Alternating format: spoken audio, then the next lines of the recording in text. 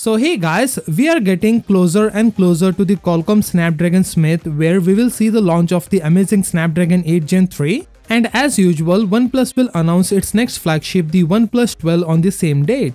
It's been a while since we heard anything about the OnePlus 12 but now Digital Chat Station has got us covered with all the specs. The OnePlus 12 camera modules are said to be a standout in crowded market. According to report, it will boost a brand new 50 megapixel Sony IMX966 1x1.4 inches large bottom main camera. This camera supports optical image stabilization. Additionally, an impressive 48 megapixel ultra-wide angle lens is expected, possibly the Sony IMX581. To complete this package, the OnePlus 12 will feature a periscope telephoto lens with a 64 megapixel OmniVision OV64B 1x2 inches sensor. This lens will also support optical image stabilization. Not only is the camera setup promising, but OnePlus is also making a statement with its design. The OnePlus 12 will follow the brand's unique exterior design and this time it's adding a white glass version to its lineup.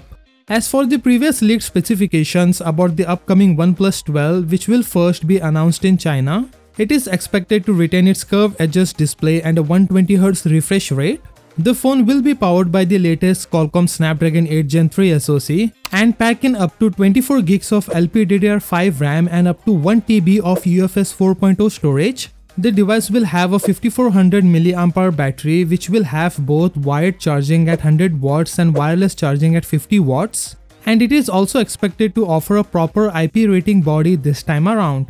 The phone will run Oxygen OS 14. Additionally, flagship from OnePlus will provide 5 years of security updates and 4 years of operating system updates which is beneficial. This is similar to what Samsung offers for their devices. It looks like OnePlus has completed all the missing things in this OnePlus 12 which were missing in the previous OnePlus phones. OnePlus is pushing the boundaries with its specification which are overkill. OnePlus will launch the OnePlus 12 first in China in December, then in January it will be released worldwide. So let me know your thoughts on this OnePlus 12 in the comments down below. And with that said, subscribe if you like and I will see you in the next one.